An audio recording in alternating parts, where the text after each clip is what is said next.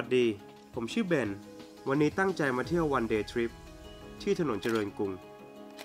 เป็นถนนเก่าแก่ที่รวบรวมมาความเก่าอยู่มากมาย อย่างงานกราฟฟิตี้ แต่งแต้มย่านกรุงเก่าให้มีสีสัน วาดโดยอเล็กซ์เฟสซาเบกลอเล่พายโบนัส TMC และศิลปินอีกมากมาย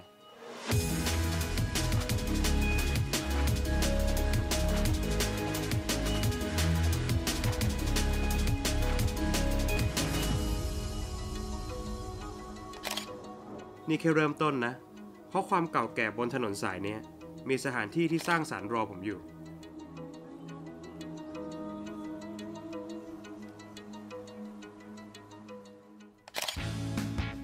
สองข้างถนนเจริญกรุง รุ่งเรืองด้วยสถาปัตยกรรมเก่าแก่ ทั้งจีน ไทย ฝรั่ง แขก หลากหลายเชื้อชาติ ต้นทุนทางวัฒนธรรมที่พร้อมปรับเปลี่ยนการใช้สอย เป็นพื้นที่ฝึกฝนคนทำงานสร้างสรรค์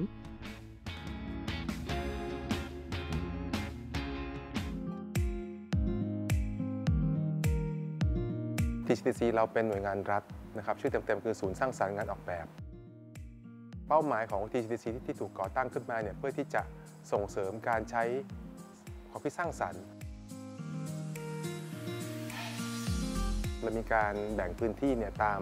หลักการอยู่ 3 ข้อคือคิดผลิตแล้วก็ขาย ในส่วนของตัวชั้นที่5เนี่ยเรียกว่าเป็นเรื่องของตัวความคิด ไม่ว่าคุณจะมีปัญหาทางด้าน branding packaging business model เรื่องของการออกแบบการให้บริการ service design ใหม่ๆ ซึ่งก็แน่นอนอยากให้คนมาทำงานร่วมกัน อยากให้มาเจอกัน อยากให้มาเน็ตเบิร์กกัน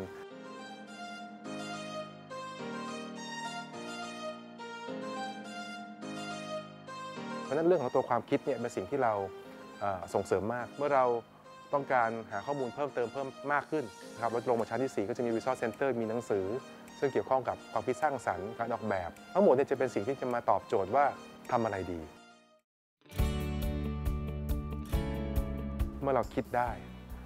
เราก็ต้องทำออกมาให้ได้ วันที่คุณคิดได้แล้วเนี่ยคุณควรจะรีบทำออกมาให้มันเป็นจริง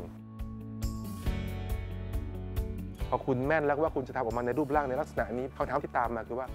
จะผลิตมันยังไง มันจะทำออกมาจากวัสดุอะไรได้บ้าง จะไปหาซื้อได้ที่ไหน เราก็จะมีฐานข้อมูลของผู้ประกอบการ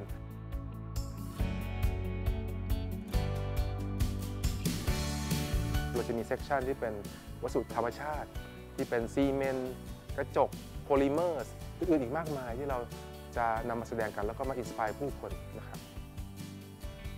สิ่งเหล่านี้เราพยายามทำให้มันเป็นศูนย์ เรียนรู้ทางด้านเศรษฐกิจสร้างสารรค์ที่ครบวงจร หลังจากสำรวจพื้นที่เพื่อค้นหาไอเดียแล้ว มาต่อด้วยพื้นที่พบปะแลกเปลี่ยนความคิดสร้างสรรค์กันดีกว่า Warehouse 30 นี่ก็เป็นโกดังเก่านะครับซึ่งก็เขาก็อยู่ตรงนี้มานานแล้วล่ะผมว่าน่าจะสัก70-80 ปีแล้วนะครับ ก็เคยใช้เป็นที่เก็บสินค้ามาก่อนนะครับ ผมก็มาเจอโกดังนี้เมื่อสักประมาณปีที่แล้วนะครับ เพราะว่าเราเห็น ลักษณะที่มันน่าสนใจของตัวสถาปัตยกรรมแหละ แล้วก็มองเห็นว่าเออมันสามารถทำอะไรได้มากกว่าการเป็นที่เก็บสินค้า เรามองว่าเราจะปรับเปลี่ยนให้มันเหมาะสมกับการใช้งานใหม่ยังไงมากกว่านะครับ มันก็เริ่มมาจากการที่เรามองเห็นว่าเออพื้นที่แต่ละส่วนเนี่ยจะทำอะไรกันมาได้บ้าง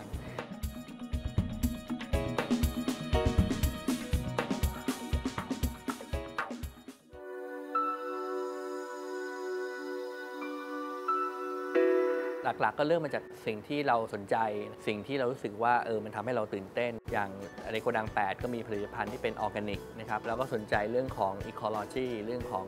ผลิตภัณฑ์ที่มาจากธรรมชาติ แล้วมันก็มีที่ว่างอาจจะเป็นพื้นที่ของโกดังหนึ่งที่อนุญาตให้คนแบบเข้ามาสร้างสรรค์โปรเจกต์ต่างๆ ได้นะครับ หรือเข้ามาเช่าเพื่อทำกิจกรรมต่างๆ ได้ อันนี้เราคิดว่าอันนั้นคือความหมายของพื้นที่สร้างสรรค์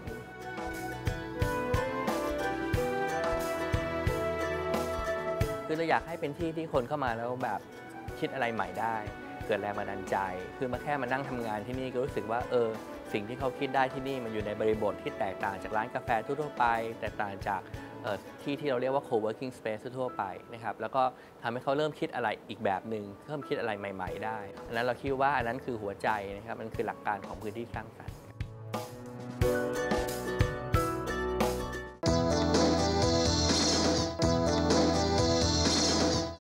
สุดท้าย ถ้ามาเยือนถนนเจริญกรุง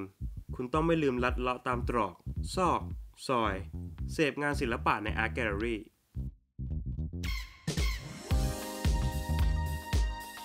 gallery hopping จริง ๆ มันก็คือการที่เปิดโอกาสให้คนในกรุงเทพเนี่ยได้เข้ามาในพื้นที่ และได้มีโอกาสได้ไปดู พื้นที่แสดงงานศิลปะต่างๆ ในเขตเจริญกรุงเนี่ยได้หมดภายในค่ำคืนเดียว เพราะว่าเราพยายามจะให้คนเห็นว่าศิลปะเนี่ยมันสามารถจะเป็นส่วนหนึ่งของวิถีการใช้ชีวิตของคนกรุงได้ และงานศิลปะไม่ได้มีแค่แขนงเดียว มันมีหลากหลาย ถ้าเขาได้เข้ามาดูได้มีโอกาสได้เดินจากหนึ่งแห่งไปอีกหนึ่งแห่งเนี่ยเขาก็จะได้เห็นความหลากหลายในเชิงของงานศิลปะ อันนี้ก็คือจุดหมายหลักๆแล้วคือว่า gallery hopping คืออะไรอะค่ะคือเมื่อก่อนเนี่ยเวลาคนจะเดินเข้าแกลเลอรี่เกรงมาก หรือว่าเวลามีงานเปิดในทรรศการใช่ไหมคนไม่กล้าไปเพราะมีความรู้สึกว่าเฮ้ยมันแบบไฮโซอะคุณต้องรู้จักศิลปิน คุณต้องได้รับบัตรเชิญ จะเข้าไปไม่รู้จะคุยกับใคร มันมีความรู้สึกว่าศิลปะมันเป็นอะไรที่คนทั่วๆไปเข้าไม่ถึง การที่เปิด gallery hopping เนี่ยเราพยายามจะลดเพดานผนังกำแพงที่มาแบ่งกั้นตรงนี้เราหวังที่จะให้คนเข้าใจแล้วก็เข้าถึงงานศิลปะได้มากกว่าไม่อย่างที่ว่าเราอยากจะให้คนเนี่ยมีความรู้สึกว่างานศิลปะสามารถจะเป็นส่วนหนึ่งในชีวิตของเขาได้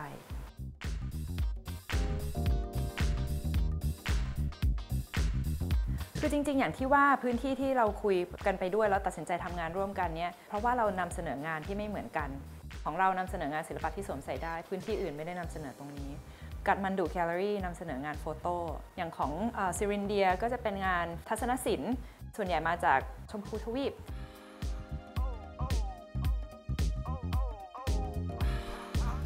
การได้เดินสำรวจไปเรื่อยๆ คงไม่ต่างจากการแก้ไขปริศนาสถานที่ด้วยตัวเอง อาจนำไปสู่การเรียนรู้ ต่อยอดความคิด ที่สำคัญ ระหว่างทาง เราอาจบังเอิญเจอใครสักคนที่ชอบเหมือนกับเราก็ได้ คุณก็ชอบถ่ายภาพเหมือนกันเหรอ ใช่ค่ะ แต่น่าเสียดายที่วันนี้ฟิล์มของฉันหมดแล้ว ฉันเลยอดถ่ายภาพสถานที่ความทรงจำของฉัน เป็นที่ที่พิเศษและสวยงามสำหรับฉันมากเลยนะคะ ผมว่ารูปถ่าย 36 ใบในม้วนฟิล์มของคุณน่ะคงโชคดีมาก ๆ เลยนะ ที่ได้ไปอยู่ในความทรงจำของคุณ มา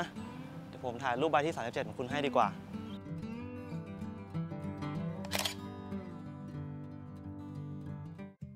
การพัฒนางานสร้างสรรค์คือแนวทางสำคัญของเมืองใหญ่ทั่วโลก